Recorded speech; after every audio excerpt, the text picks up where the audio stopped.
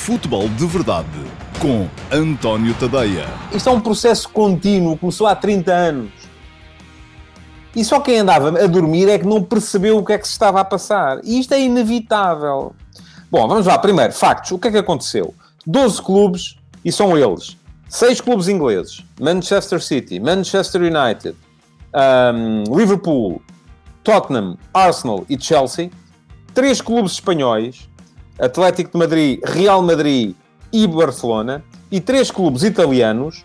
Uh, Juventus, Inter de Milão e Milan, são 12 clubes ao todo, anunciaram já hoje a criação de uma Superliga. O, o modelo não é muito diferente daquilo que é o modelo da Liga dos Campeões que, que ia ser aprovado, e não sei se vai ser hoje, no Comitê Executivo da UEFA. Uh, são, um, a partir do que é que eles querem? Querem fazer uma Superliga com 20 equipas, convidaram também o Bayern Munique e o Paris Saint-Germain uh, para serem membros fundadores, e tanto o Bayern como o PSG não aceitaram, mas isto, enfim, tem a ver com o facto do Bayern ser, de facto, um fenómeno à parte, no futebol mundial neste momento e do uh, presidente do PSG, o Nasser Al-Khelaifi, ser muito amigo de Alexander Scheferin, presidente da UEFA, e muito próximo da UEFA, e portanto aqui uh, desses dois à partida não levam nada.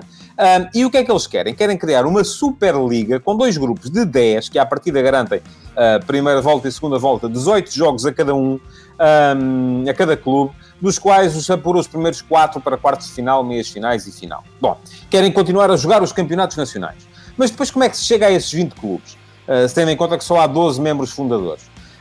Um, ora bem, a ideia é depois convidar uh, casuisticamente este ano um clube, no outro ano outro clube, uh, e, e, com base naquilo que eles próprios definiriam como sendo regras de acesso. Mas isto tem aqui logo a partir de um problema. É que estes 12 nunca deixam. Estão sempre lá. E depois os outros, enfim, como é que vai ser, não é? José Mourinho foi o primeiro treinador uh, de, demitido da Superliga, aparentemente, porque foi demitido pelo Tottenham. Não me espanta, os resultados têm vindo a ser muito negativos. Derrota com o Arsenal, 3 a 0 do Dinamo Zagreb. Depois ganharam o Aston Villa, mas empataram com o Newcastle.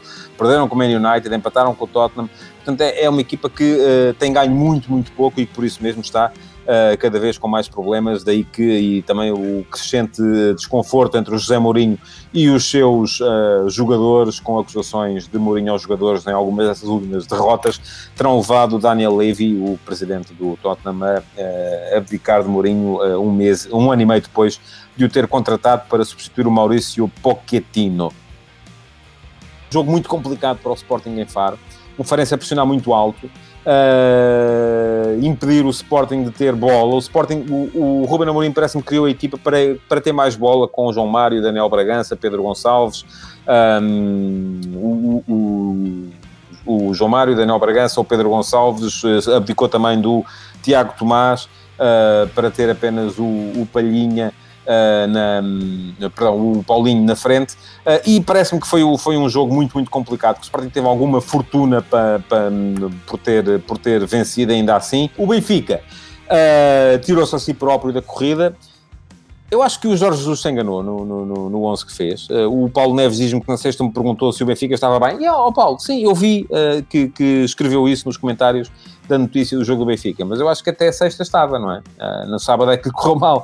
Agora, acho que o Jorge Jesus um, voltou a insistir nos três atrás, e os três atrás sobretudo uma equipa que marca ou que defende com referências individuais, como é o Benfica, tem um grande problema, sobretudo quando o adversário faz aquilo que fez o Gil Vicente e que o Passo de Ferreira não fez, que é abrir o ataque. O Porto, é verdade que não fez um grande jogo, uh, bem pelo contrário, fora contra o Nacional. O Nacional foi melhor do que a encomenda, melhor do que eu estava à espera, depois de ter apanhado 5 nos últimos dois uh, jogos.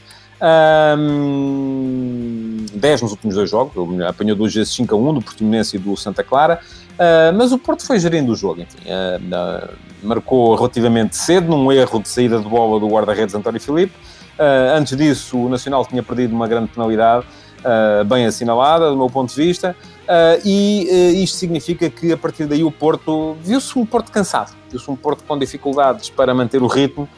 Futebol de Verdade.